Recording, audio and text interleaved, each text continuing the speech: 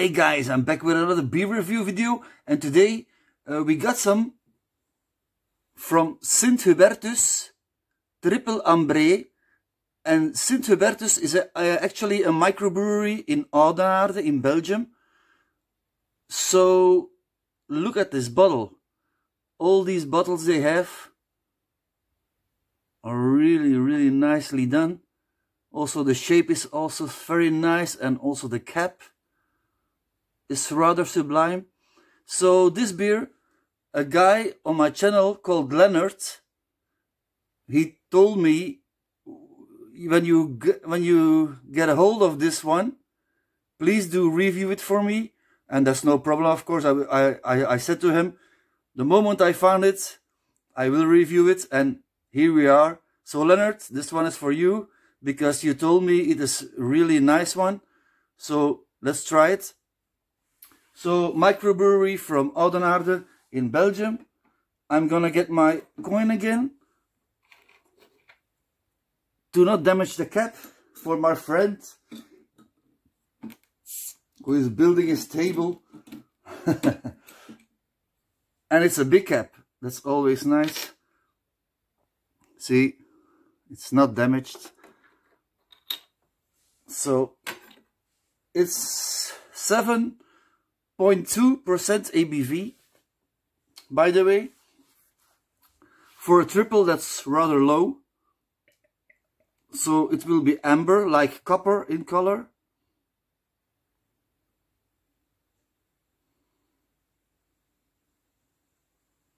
Yeah, really nice head on that.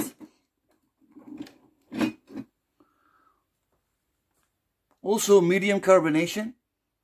And like I told you, it's like copper, red to copper colored. Also the glassware is a little special. My name, my girlfriend's name and my daughter's name. It's made for my birthday. I think it was last year.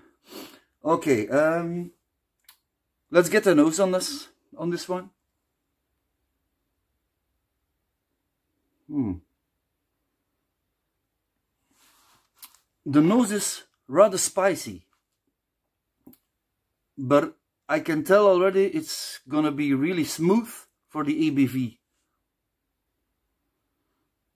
It's also, also malty, like sweet.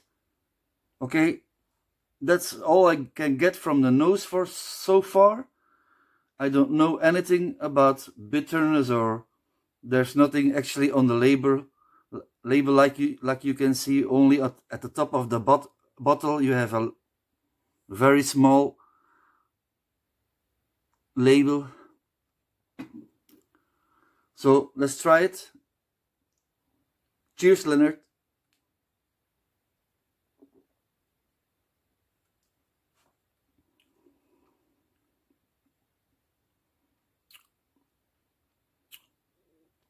Sweet, malty, spicy, but those good spices.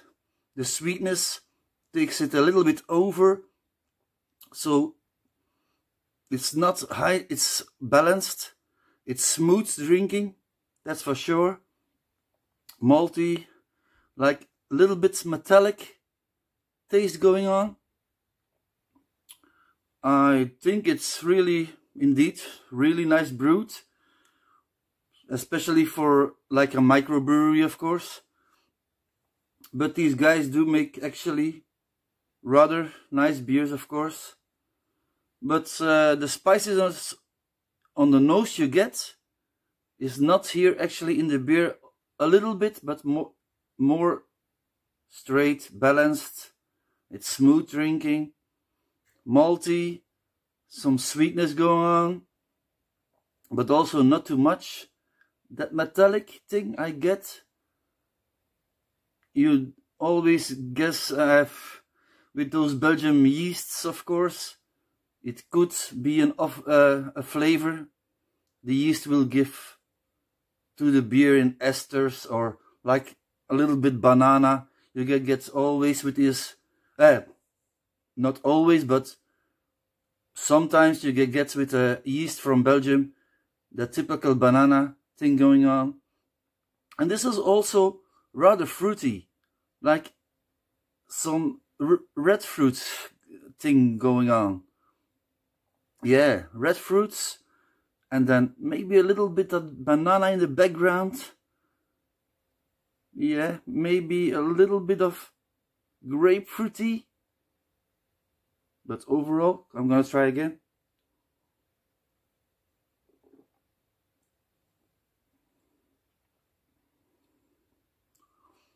Really smooth drinking. And really in balance, like I told you.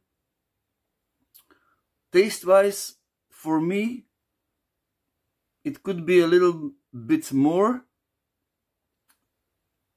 to the when you when we're talking about ingredients and over over mouth feel body of this beer it's a little bit too thin like maybe slightly watered down I get that feeling from this one but like I told you and then at the end you get that bitterness there's there is a rather high bitterness going on but only at the end when it finishes, the beer's off, then you have that bitterness.